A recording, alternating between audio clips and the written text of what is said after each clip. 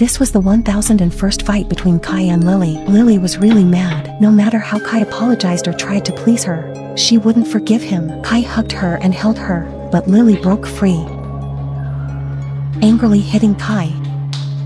After a while, Kai saw a doll on the chair.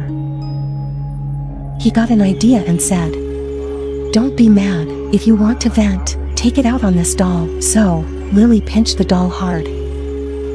Playing along, Kai pretended to be in great pain. Ouch. I'm sorry, I'm sorry. Lily finally laughed. Saying, okay, go take a shower now. Relieved, Kai headed to the bathroom, but suddenly, he felt a sharp pain in his chest. Taking off his shirt, he saw bruises all over. What happened? Who hit him? Could it be? He looked at his girlfriend in fear. Kai was about to take the elevator home, but it was broken. Such bad luck. He had to take the stairs. On the second floor, Kai saw a woman in red knocking on a door. Not thinking much of it, he went up another floor. Weirdly, it was the same woman knocking again.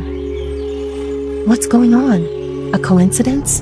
The more Kai thought, the weirder it felt. And there she was again, knocking on another door. Panicking, Kai ran upstairs. Every floor he reached, she was still knocking. In broad daylight?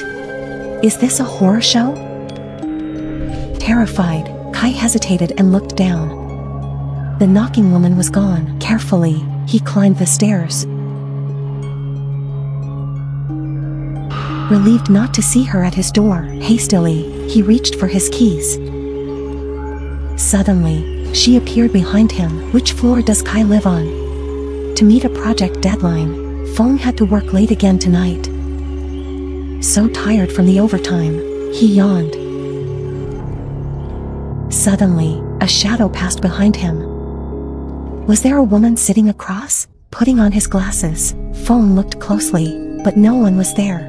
A bit later, he looked again and saw a girl in a white dress. Fong was freaked out. In a blink, the woman was even closer. What's happening? Is she a ghost here for overtime too? She vanished in another blink. Was it an illusion?